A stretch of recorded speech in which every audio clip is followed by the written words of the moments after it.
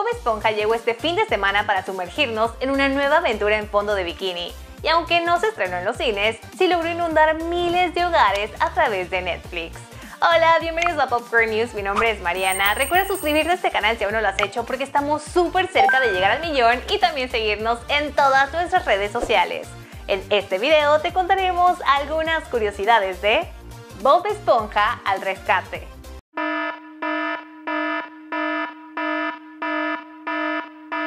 Bob Esponja al Rescate es la tercera película que surge de la serie animada de Nickelodeon. Luego de Bob Esponja la película, la cual se estrenó en el 2004 y posteriormente Bob Esponja, un héroe fuera del agua en el 2015. Todas estas películas han sido escritas por Tim Hill, quien ha trabajado en la serie animada desde sus inicios y con esta última película incluso se desempeñó como director. La idea original de esta película era que sirviera como una precuela de la serie animada y desde el 2015 comenzaron a hablar de ella gracias al éxito que tuvo la película Bob Esponja, un héroe fuera del agua, pero comenzaron a desarrollarla oficialmente hasta el 2018. A diferencia de las otras dos películas que utilizaron animación tradicional 2D, la misma que vemos en la serie, esta fue realizada con animación 3D. De hecho, al principio iba a ser una combinación de ambas por el costo que implicaría hacerla completamente en 3D pero finalmente se inclinaron en hacerla totalmente así porque los personajes se ven mucho más estilizados sin dejar de ser dibujos animados.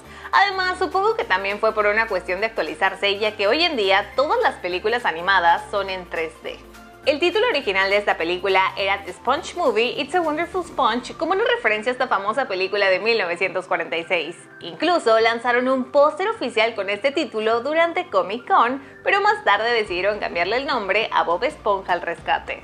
Para la trama de esta película se inspiraron en el tercer capítulo de la cuarta temporada llamado Has visto mi caracol, emitido en el año 2005, el cual se trata de que un día Bob descuida a Gary y él se va de casa. Cuando Bob se entera se pone muy triste y lo busca literalmente por todo fondo de bikini. Incluso hasta le compuso una canción bien triste que aparece en los créditos de esta película, pero solo la melodía. Sin embargo, originalmente la trama que iba a tener esta cinta era muy diferente y sobre todo rara. Y es que el estudio planeaba que hubiera gatos alienígenas atacando. Afortunadamente decidieron cambiar la trama porque sintieron que era algo muy extravagante que no hacía tanto sentido con la serie. Tim se inclinó por una historia más sencilla, pues así le gustaban a Steven Hillenburg, el creador de la serie. De hecho, la idea de Gary siendo secuestrado fue una idea que se le ocurrió al mismo Hillenburg en el 2014, justo para la tercera película, e incluso hasta se filtró un poco del arte conceptual. Esta cinta pasó por muchos cambios en su fecha de estreno y se supone debía llegar a los cines. Al principio estaba previsto que su estreno sería en el 2019 para celebrar el vigésimo aniversario de la serie animada, pero después decidieron moverlo hasta el 2020 para evitar competir con Dora y La Ciudad Perdida. Pero al igual que muchas otras películas que debían estrenarse este año, esta película fue retrasada en más de una ocasión debido a la pandemia. Primero la anunciaron para mayo de 2020, luego para julio y posteriormente la trasladaron para agosto. En julio del año en curso, Netflix adquirió los derechos de distribución para estrenar la cinta a nivel internacional el 5 de noviembre, sin embargo, en el contrato se excluyeron algunos países como China, Canadá y Estados Unidos. En Canadá sí logró estrenarse en los cines el pasado 14 de agosto, mientras que en Estados Unidos su estreno será a través de un servicio on demand, pero eso será hasta el 2021. Una de las primeras escenas que vemos de esta película es un precioso arrecife de coral donde vemos una gran cantidad de peces cirujanos que obviamente al verlos nos recuerdan muchísimo a Dory de Buscando a Nemo. Y aunque Dory sea un personaje de Pixar y Bob de Nickelodeon, no podemos descartar que bien pudo ser un guiño. Algo que se volvió común en las películas de Bob Esponja fue tener estrellas invitadas, pero en una versión live action. En la primera vimos a David Hasselhoff, en la segunda Antonio Banderas y en esta es Keanu Reeves. De hecho, si hacemos a un lado a Toy Story 4, donde Keanu le prestó su voz a Duke Kaboom, esta viene siendo la primera película animada donde Keanu aparece, pero en una versión live action. En esta cinta, Keanu Reeves interpreta a Sabio, un personaje que tiene forma de planta rodadora.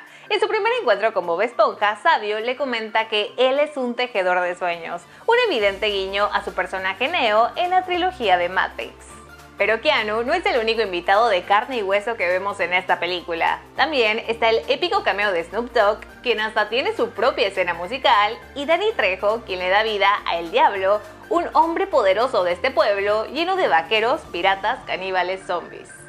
Sin embargo, en el doblaje latino también hay un invitado especial, ya que el encargado de prestarle su voz a Otto, este robot que fue creado por Arenita, fue doblado por el youtuber Mario Aguilar, quien a través de TikTok mostró lo emocionado que estaba por ser parte de esta película, ya que desde siempre ha sido fan de Bob Esponja. ¿qué onda, Oigan, tengo algo que decirles. La verdad, estoy súper contento. Pues este robot que ven aquí soy yo, yo hice la voz. La neta estoy que no me la creo. O sea, soy fan de Bob Esponja y doblé algo para Bob Esponja. El laboratorio de Plankton prácticamente tiene toda la colección de sus intentos fallidos por tratar de apoderarse de la receta secreta de las cangreburgers. Pero lo más peculiar es que al fondo de su laboratorio podemos ver tirados a dos robots que utilizó en uno de sus tantos intentos por robarse la receta en la serie animada. El primero es un robot de Bob Esponja que nunca obedeció a Plankton. Este apareció en el capítulo 14 de la tercera temporada y el segundo, el robot de la corbata roja, lo vimos en el ejército de Plankton, el episodio 18 de la tercera temporada donde este robot simuló ser un cliente para infiltrar a Plankton en el crustáceo cascarudo. La melodía que Kenny Hivia, el músico de jazz, toca antes de que comience el juicio, en realidad es la icónica canción My Heart Will Go On, la cual formó parte del soundtrack de Titanic. En esta película cambiaron algunas cosas que en la serie nos contaron de una forma diferente. Una de ellas es la manera en cómo se conocieron Bob y Arenita. Y es que en esta película nos dicen que se conocieron durante un campamento de verano cuando eran pequeños, mientras que en la serie animada se supone que se conocieron en un campo de medusas, pero ambos ya eran adultos.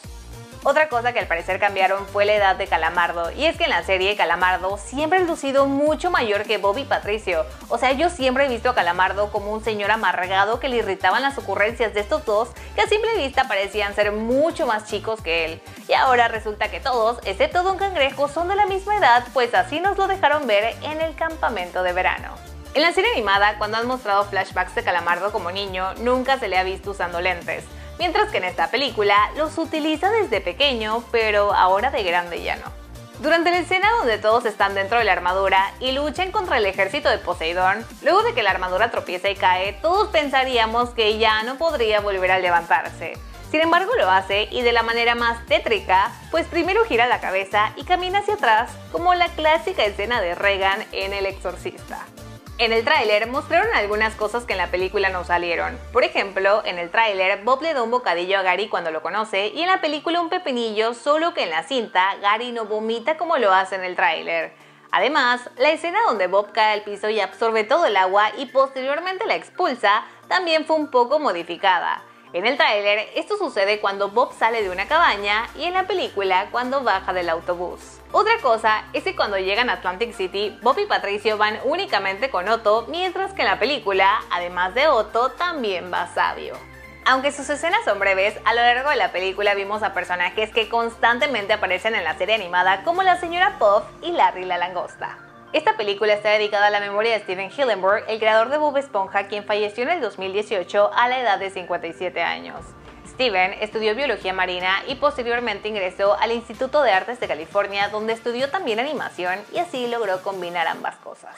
Y es que en 1996 se le ocurrió la idea de Bob Esponja y fondo de bikini y el primer capítulo, el piloto, fue emitido hasta 1999 cuando arrancó oficialmente la serie. De las tres películas, esta es la única que no contó con escena post-créditos. Como vimos, en esta película Bob Esponja prácticamente conoció a todos sus amigos durante su estadía en el campamento coral, a pesar de que en la serie nos han contado otra historia completamente diferente.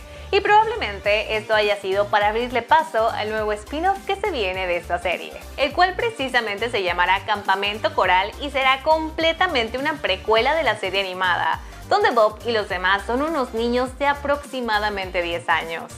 Su estreno está previsto para el 2021 y aunque aún no se ha estrenado, ya está generando muchos comentarios al respecto. Paul Tibbitt, quien fue escritor y productor de la serie animada, escribió un polémico tweet.